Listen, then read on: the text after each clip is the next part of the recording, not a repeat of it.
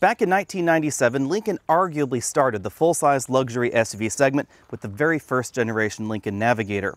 But in 1999, Cadillac started to steal their thunder with their all-new Escalade, and at this point in time, the Escalade outsells the Navigator by a reasonable margin. But Lincoln hopes to change that with an all-new Navigator for 2018 and an all-new kind of Navigator, because in the past, the Navigator had been accused of being a very thinly veiled Ford Expedition.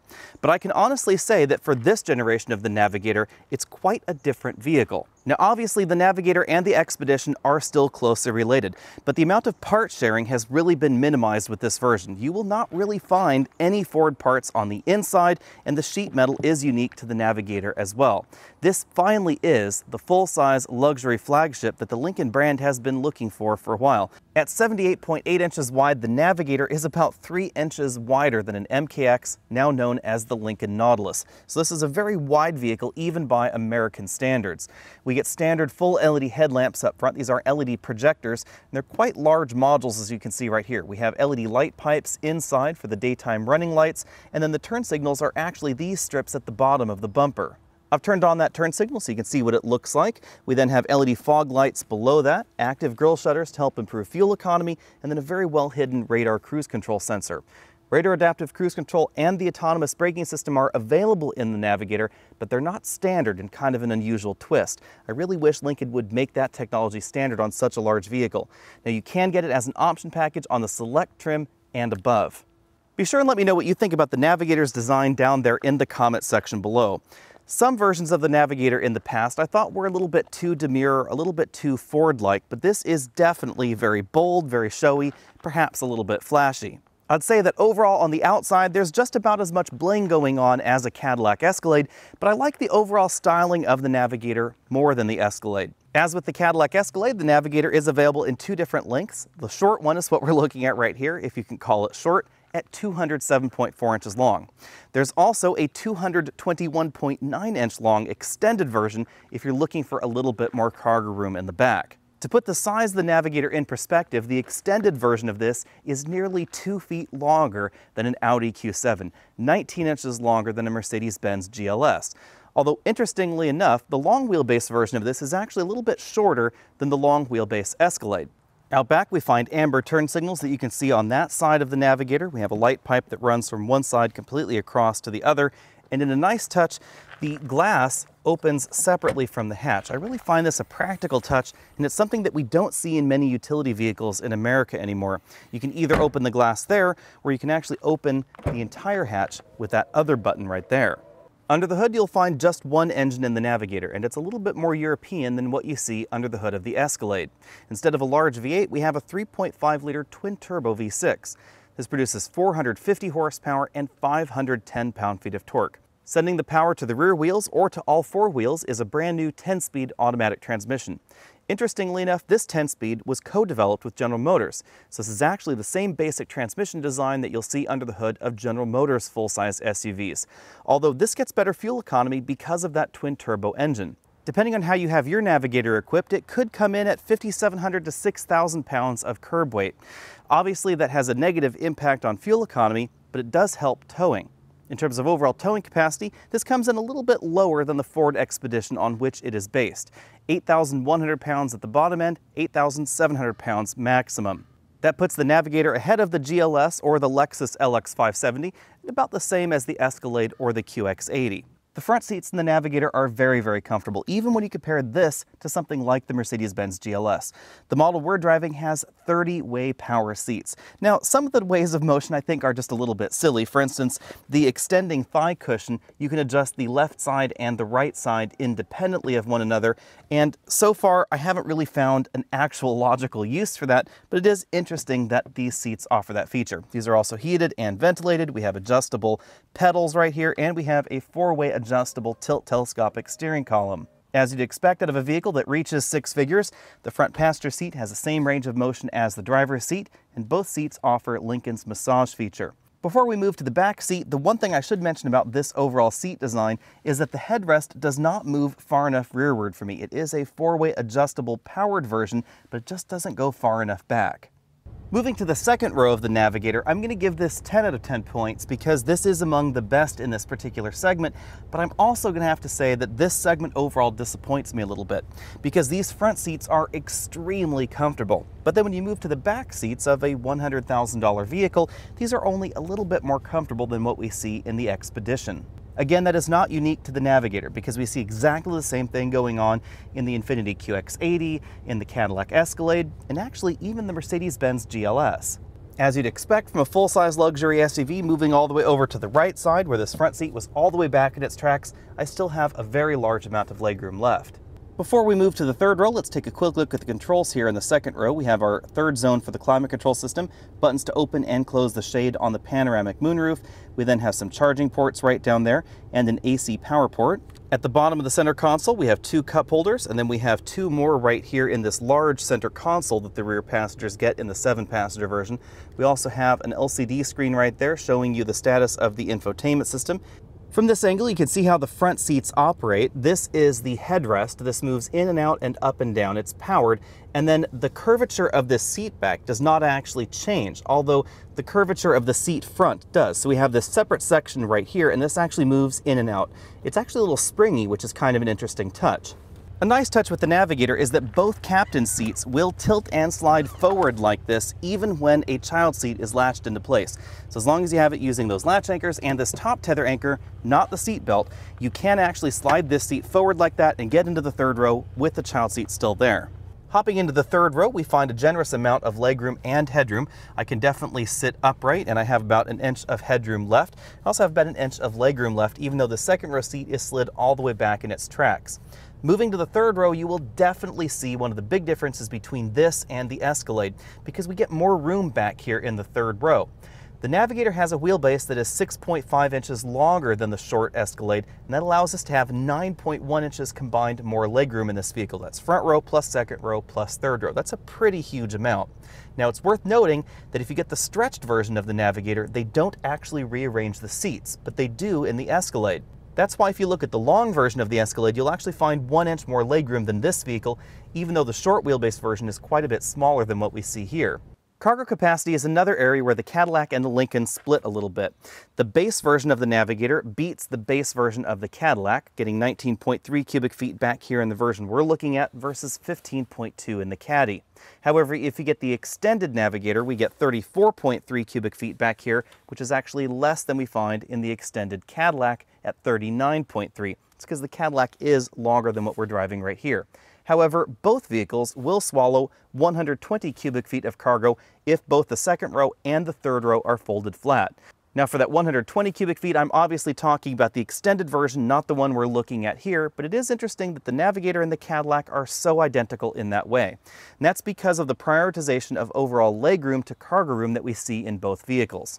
Moving to the inside, you can see that our model has this large panoramic moonroof, which extends right there to just over the second row passenger's headrests.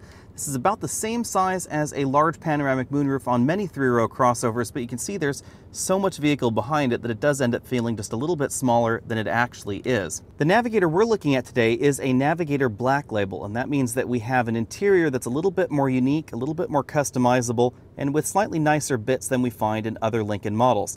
We'll talk a little bit more about Black Label in the pricing section, but don't worry, if you want to get a Black Label Lincoln, but you don't want this burgundy interior, there are other colors offered. The upper section of the door is covered in tooled leather, so this does look perforated, but these are actually little tool marks you can see right there. It's been indented to give it that pattern. It's also been stitched together. Then you can see some of the controls for the 30-way seats. There's so many different ways to control these seats that some of it is done through the control screen in the center of the dashboard. We have laser cut speaker grills right there, a lot of real wood trim going on in the middle of the door. Moving over to the dashboard, we have more of that real wood trim. It has a Lincoln logo and sort of little polka dots painted into the wood underneath the lacquer to give a little bit more visual interest. I think it's kind of an interesting touch. We then have more of that tooled leather going on on the dashboard and some stitched leather on the top. In the middle of the dashboard, we have a large center channel speaker, and then we have this touchscreen infotainment system that sits on the dashboard sort of like a tablet computer. Below that, we have a button to activate the 360 degree camera system or hazard light button, the buttons for the automatic transmission, drive, neutral, reverse, etc. We have our trailer backup control over here. This vehicle does have that option keyless go right over there, and then the integrated trailer brake controller underneath that backup control. I wasn't initially going to talk about part sharing in this video because I generally don't in luxury car reviews. However, so many of you on Facebook were asking me about it, I felt I had to say something. I generally don't mind part sharing between luxury vehicles and mainstream vehicles as long as the parts are well designed. And we see a lot of part sharing in a wide variety of different vehicles. Mini and BMW, Audi of course, and Volkswagen, and Mercedes still shares some components with certain Chrysler vehicles. I think Cadillac and Lincoln often get unfairly singled out for part sharing. However, that has caused Lincoln to go in kind of a different direction with the 2018 Navigator. You've noticed so far that there is really nothing going on here that is shared with the Ford. We have very different controls here for the climate control system and the infotainment system, and the overall style and shape of this center console is quite different as well. There's actually a space here, so you can actually reach all the way behind that. This sort of floats in the air. We have a compartment under here where you can store your smartphone. We have two USB inputs right there, and there is a wireless charging mat there as well. And then on this side, we have two large cup holders and a little slot where you could keep your smartphone upright. Behind that, we have a drive mode button, the auto brake hold button, automatic start, stop, enable, disable, parking sense button, autonomous parking if your vehicle is so equipped, and then an electric parking brake. Moving to the center console, we find that same basic design we saw in the back. This opens to reveal a fairly large storage compartment where we get an additional 12 volt power outlet and a single slot optical disc player. Moving over to the driver's side of the Navigator, we find a full LCD instrument cluster. This is quite different than anything we see in the Ford family, and I'm actually a little bit torn as to whether that's a good thing or not, because this display never feels quite as snazzy as what we see in certain Audi vehicles. There's never going to be a moving map display in here. We basically just get what you're seeing right here, along with a trip computer and a few vehicle settings. For instance, if we hit the setup button right there, we can turn on and off the tow haul mode, see what trailers are connected, enable hill descent control. We can also set up the display and we can choose between measurement units, can add the tachometer to the view, etc. If the tachometer isn't added to the view, you'll see that we get our trip computer information over here and then our audio system information over there on the left side. Notoriously difficult to focus on, we do have a crisp and bright heads-up display that gives us turn-by-turn -turn navigation directions, time, clock, gear, speed, and of course our distance to empty. The steering wheel is a three-spoke design with this large center spoke down there. We have our infotainment controls over here on the left, track forward, backward, volume up, down, and mute. Controls for the radar adaptive cruise control right over there. And then on the right side, we have dedicated phone buttons, a button for the heads-up display. There's a media access button, a navigation button, system settings button. Those are for that display right in there. You then interact with the display using this toggle, press down to OK, return right there, and then there's a voice command button. On the back of the steering wheel, we have shift paddles, down on the left and up on the right. If you were hoping that the Navigator would drive like a more luxurious Expedition out on the road, then you will be pleasantly surprised. If you were hoping that this would drive like a luxury vehicle out on the road, then you'll also be pleasantly surprised because the Expedition is actually a really good full-size SUV to base a luxury car on. The big difference, of course, between the Expedition and the Navigator is that we get more power out of the Navigator's twin-turbo V6, so this has a faster 0 to 60 time than that Expedition, and the suspension is tuned a little bit differently. The model that we're driving has the adaptive suspension in it, and that really is noticeable out on the road. In terms of performance, this ran from 0 to 60 in 5.9 seconds. That is notably quicker than the Expedition, again thanks to that extra power, but keep in mind that this is a very heavy SUV. The model that we're driving weighs around 6,200 pounds as we have it equipped. That is nearly 1,000 pounds heavier than a Mercedes-Benz GLS. Now, as I said before, that does pay dividends when it comes to towing because this is going to feel better when towing a heavy trailer out on the road than a Mercedes GLS because it's going to get pushed around an awful lot less. So in a vehicle like this that has towing as one of its primary missions, ultra lightweight construction is not necessarily a benefit, although obviously it would have improved the 0 to 60 braking times, handling scores, etc. In our braking test, we stopped from 60 miles an hour back to zero in 130 feet, which is fairly respectable. That's because this car does have fairly wide tires on it. When thinking about handling, keep in mind that the competition for the Navigator would be other full-size SUVs. So on the smaller end of things, it would be something like that Mercedes-Benz GLS or perhaps the Lexus LX570, but the true competition for this really lies in something like the Infiniti QX80, the Cadillac Escalade, etc. And in that comparison, this does incredibly well. In terms of handling comparisons, obviously something like the GLS or the Q7 or BMW X5 are going to outhandle this, but they're not going to have the same kind of size. When pitted against its natural competition, this outhandles the Infiniti QX80 and the Cadillac Escalade. and definitely the Lexus LX570. The LX570 doesn't really handle that well out on the road. It really is more off-road targeted, and as a result, they have given up a lot of on-road performance. Speaking of off-road vehicles, I suppose you could compare this to something like a full-size Range Rover, although again keep in mind that even the extended wheelbase Range Rover is not going to be a direct competitor to this. It doesn't seat as many people, that is a two-row vehicle only, even though you can get the extended wheelbase version, and the extended wheelbase Navigator is still notably larger. When it comes to our overall ride score, I'm going to give this model an A. This car does have an adaptive suspension system, and the way that the overall suspension is tuned is definitely on the softer side of things. This is very comfortable for long highway journeys. Some might accuse this of being a little bit too floaty-boaty, but I kind of appreciate the more classic Lincoln tuning that we find in this vehicle. Some of Lincoln's latest models have been attempting to chase performance, and as a result, that classic soft Lincoln ride has been given up.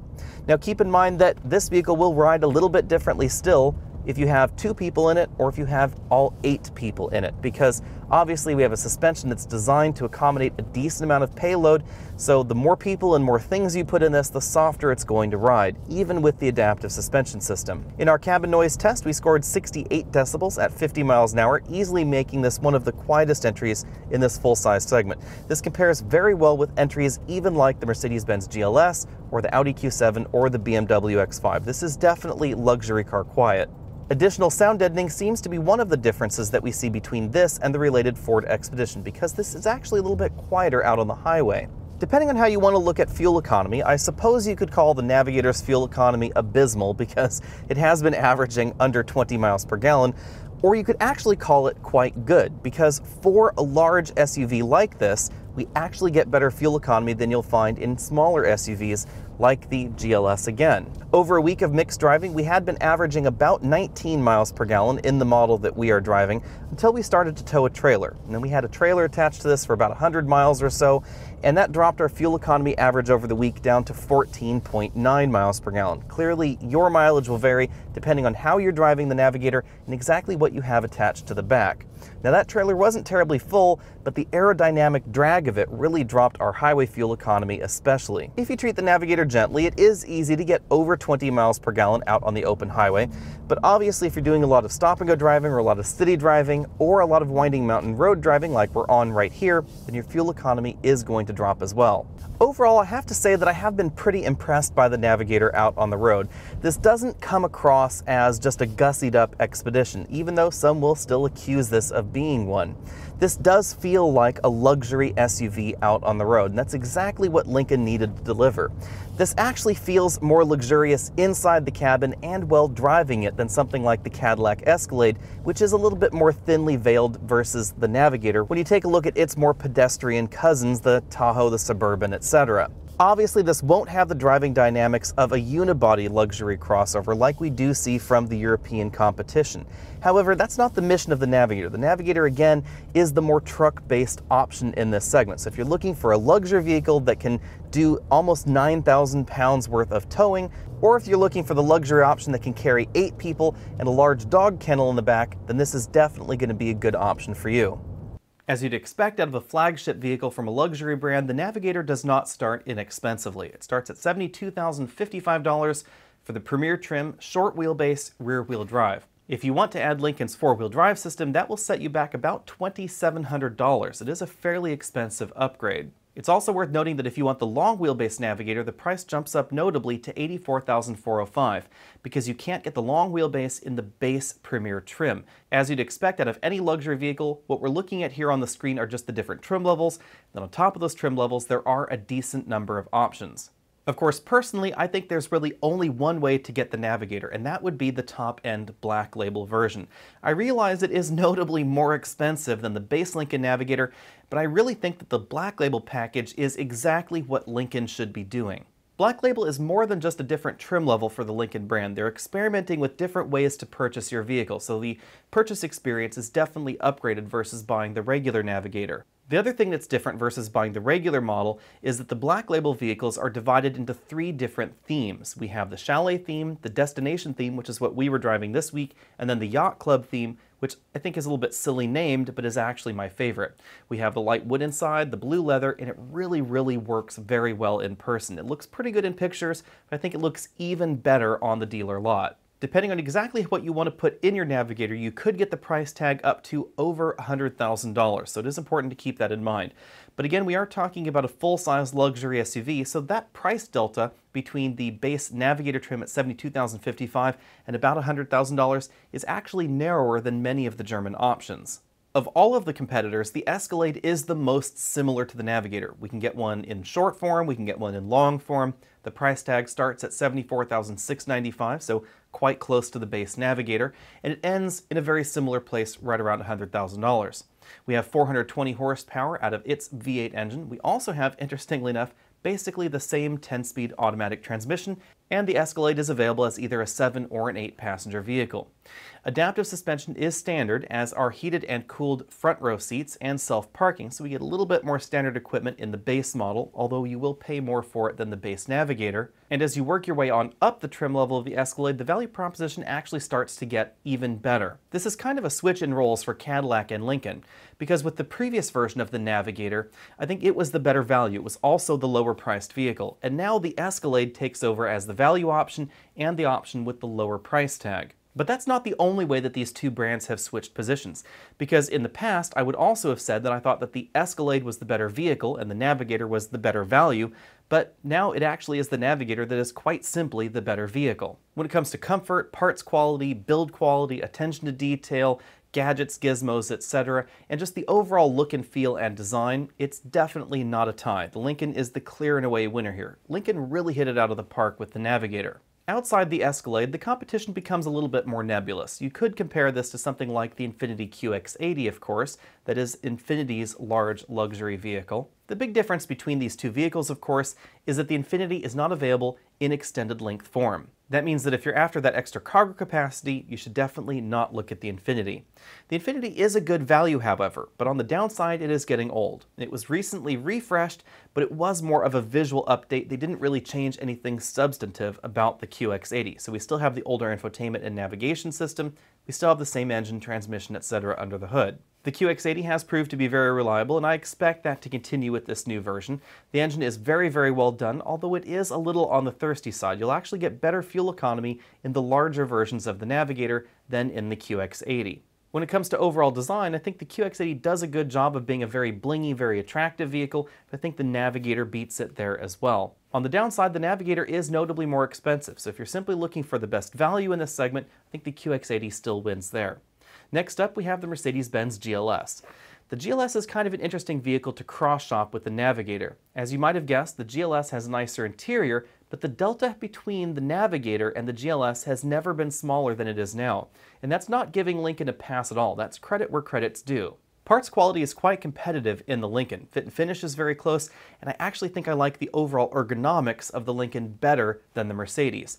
Of course, if you get top-end trims of the Mercedes, then we get nicer materials than you'll find in the Lincoln, but you'll also be paying more for them over there in that GLS. Even though the GLS starts a little bit lower than the Lincoln Navigator, value is actually still a strong selling point for the Lincoln. The GLS 450 may technically start lower, but when you start comparably equipping it, it's going to be about as expensive or perhaps a little bit more expensive. That's of course before you start factoring in things like the GLS being a slightly smaller vehicle and not being quite as capable when it comes to towing either. When it comes to overall performance, the GLS does very well for itself. It has Mercedes' brand new 9-speed automatic transmission and their twin-turbo V6 engine, and that means that it does go from 0 to 60 about as fast as the Navigator, even though it is actually less powerful course, if you want to go faster than the Navigator, you can definitely do that in the GLS because we have a GLS 550 and of course AMG versions of that Mercedes as well, but they're going to cost significantly more than the Lincoln, and they're still going to be a little bit smaller. That moves us along to one of the stalwarts in this segment, the Lexus LX570. The LX570 is, of course, very closely related to the Toyota Land Cruiser, so it has a solid off-road pedigree attached to it. But that off-road pedigree means that the LX570 ends up being a little bit less practical for daily driving and daily commuting than the Navigator.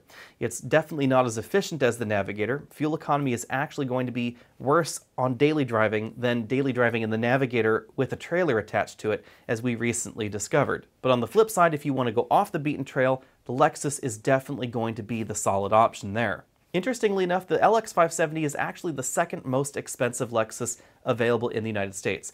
It starts at 85,380, but that will only buy you the two-row LX570. If you want the three-row version, which would be the more appropriate competitor to the Navigator, that actually starts at 90,380. So the Navigator is definitely going to be the better value overall.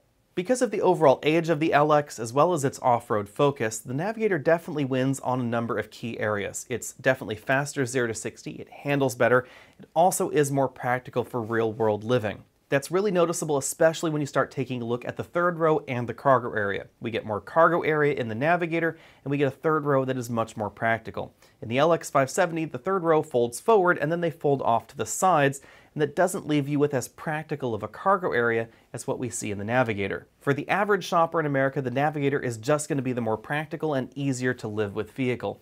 Even if you're looking at something for farm or ranch duty, the Navigator is honestly going to be the better option. Because the Land Cruiser may be very capable off-road, but that doesn't necessarily make it that much better when you're talking about uh, wandering across a pasture or perhaps fording a stream, etc in those regular, more mild ranch or farm duties. Now, if you were to take the Lexus and the Lincoln rock crawling, then it would be a different story. But for most of those heavy-duty uses, again, the Navigator is actually going to be the better option.